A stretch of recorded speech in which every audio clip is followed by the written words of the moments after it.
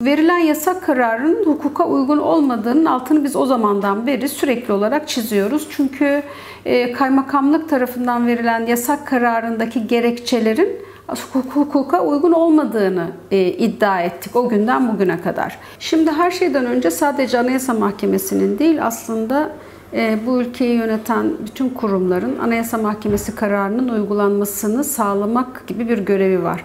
Çünkü e, hepinizin bildiği gibi biz kaymakamlığa başvuru yaptıktan sonra valiliğe yaptık. Çünkü e, hiyerarşik üstü valilik ve dolayısıyla en azından valiliğin bu hukuka aykırı e, kaymakamlık uygulamasını durdurması gerektiği üzerinden yürüdük.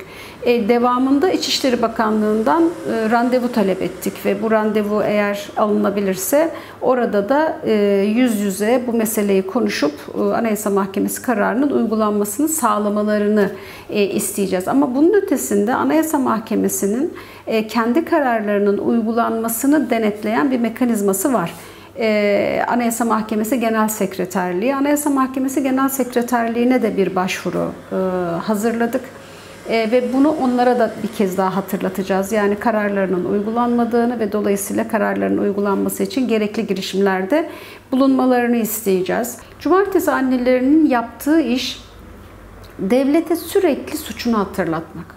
Sürekli her hafta yani 28 yıldır kesintisiz olarak Cumartesi insanları, kayıp yakınları e, devlete suçlarını hatırlatıyor. Dolayısıyla devletin reddedemeyeceği e, ve e, bir insanlığa karşı suçtan söz ediyoruz. Bu oldukça ağır bir durum aslına bakarsanız. Yani bir devletin e, işlenen insanlığa karşı suçlarla ilgili yüzleşmesini istiyor.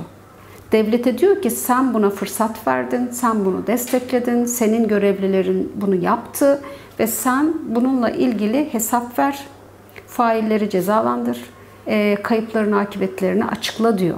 Dolayısıyla orada e, devleti açık bir yüzleşmeye davet ediyor. E, bu suçun üstü örtülmez.